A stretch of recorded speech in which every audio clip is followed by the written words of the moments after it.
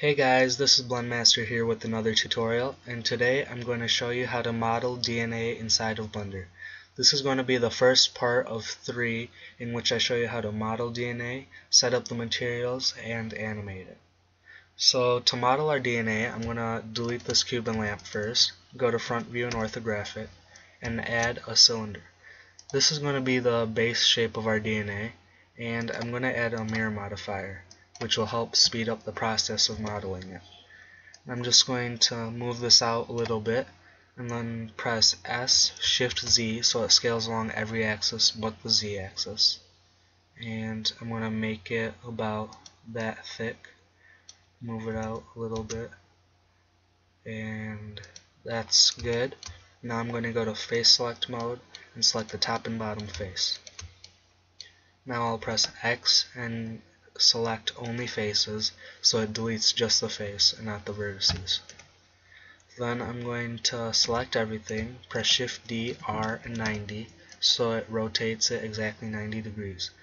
Then I'll click Clipping in the modifier menu and drag this all the way to the center of the or where the origin is.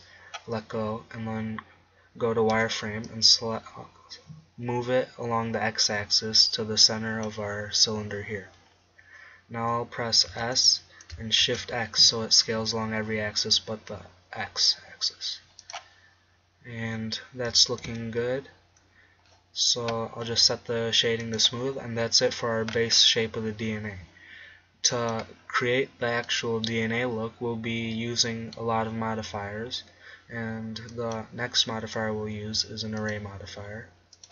After that I'll add a subdivision surface modifier, set that to 2, and then I'll add a simple deform modifier and a curve modifier. So I'll open up the array modifier and I'm going to set the count to about 50 and change the relative offset of the x and y to 0 and make the z 1. Then I'm going to collapse this and open up the simple deform modifier and change the deform angle to about 2000 uh, that's a little too much I think. So I'm gonna change it to 1750 maybe 1600 yeah and that's looking good. So now we're going to add a curve. And this curve is going to be the path that our DNA follows. So I'm going to rotate this on the or yeah, x-axis by 90 degrees, tab into edit mode, and scale it up by 10. Then I'm just going to move around these points to create a shape that I like that our DNA will follow. And then I'll extrude some extra points here, like that.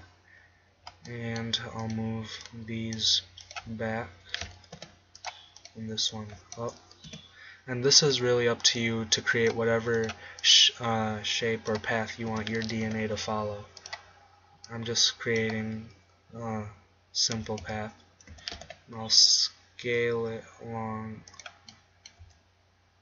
whoops I'll scale it along the y-axis so it's not as drastic and move it up and that's it for the curve now I'm just going to select our DNA again and set the go to the curve modifier and set the object to NURBS path.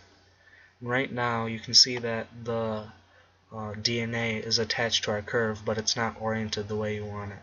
So you have to uh, check one of these until you find which uh, one is right and this one the Y is working for it.